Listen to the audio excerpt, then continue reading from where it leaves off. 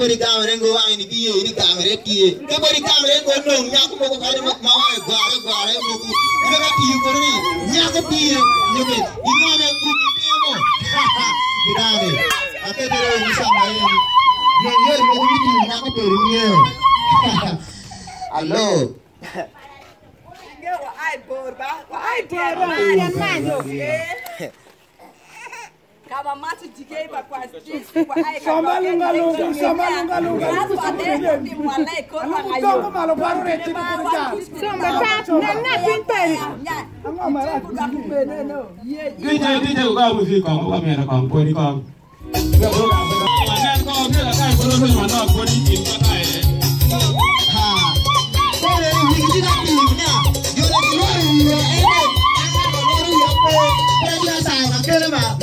So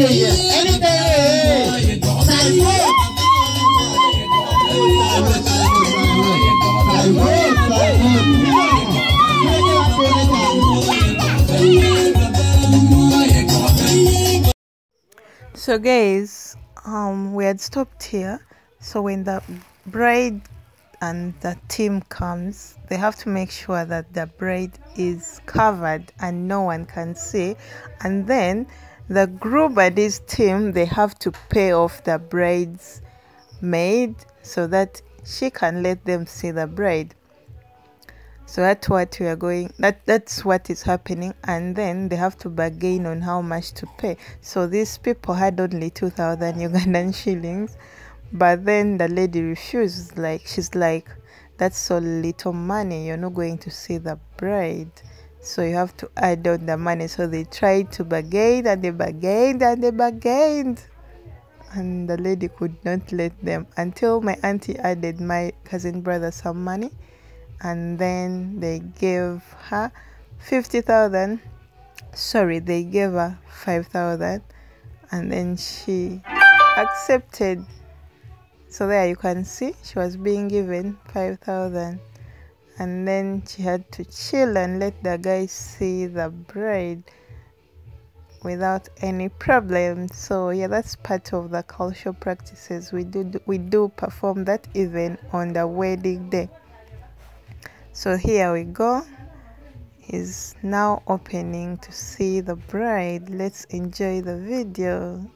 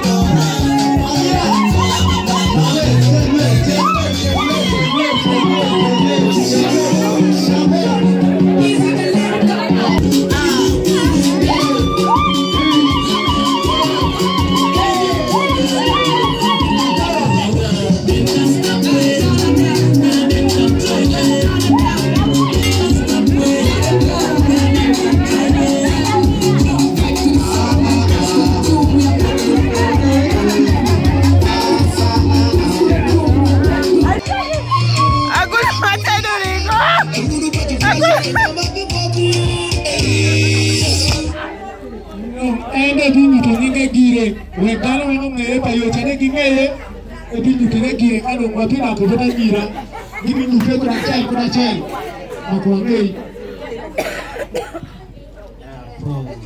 eyo.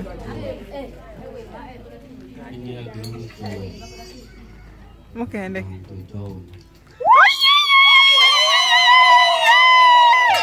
pacheryo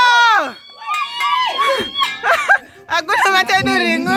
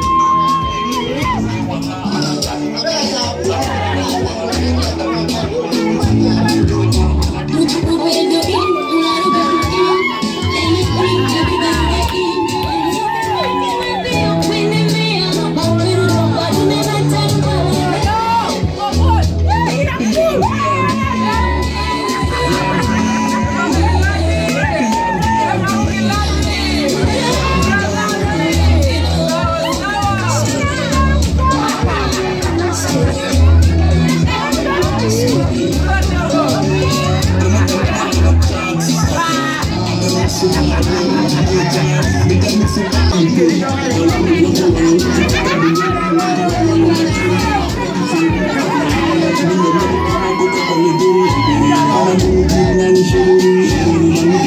Eyo.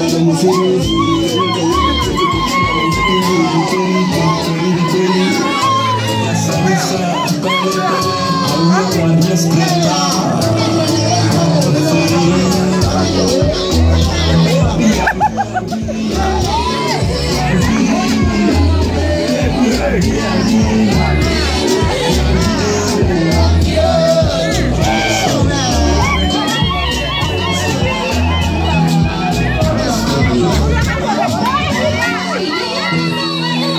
不